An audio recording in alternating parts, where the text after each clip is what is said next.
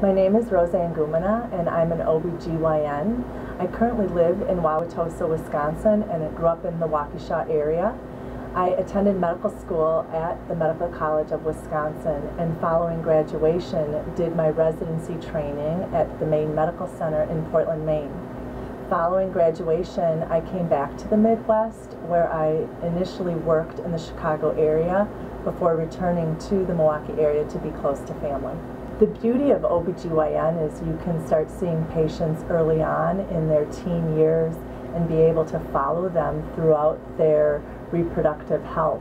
So the nice thing is you can see anywhere from a teenager one day to somebody in her menopausal years. My practice philosophy is more in getting to know the patient.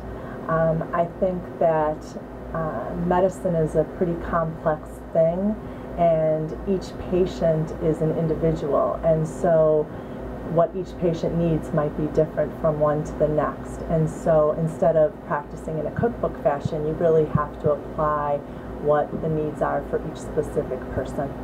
My initial training was in primary care and so I feel very strongly that a patient should be able to come to an OBGYN and have their entire health addressed.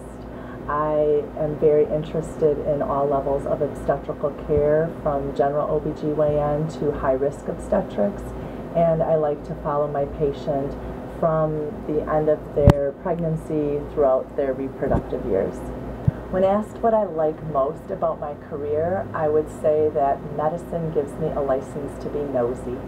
I love getting to know my patients. I like taking care of them throughout their nine months of pregnancy and having their families come in to meet them at the visits and then getting to follow them throughout their childbearing years into menopause.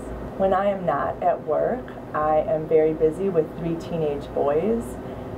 I am either busy with their activities at school or as a family we like to do a lot of traveling together. I stay busy in my community doing volunteer work and at my parish.